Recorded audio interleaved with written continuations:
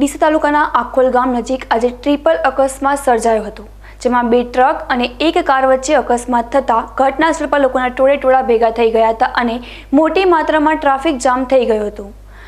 જેથી વાહન ચાલકોને હેરાન ગતિનો સામનો કરવો પડ્યો હતો. અત્રે ઉલ્લેખનીય છે કે ગનિમતે જાનહાનિ ટળી હતી, પરંતુ ઈજાગ્રસ્તોને તાત્કાલિક સારવાર અર્થે ડીસા સિવિલ હોસ્પિટલે ખસેડાયા હતા.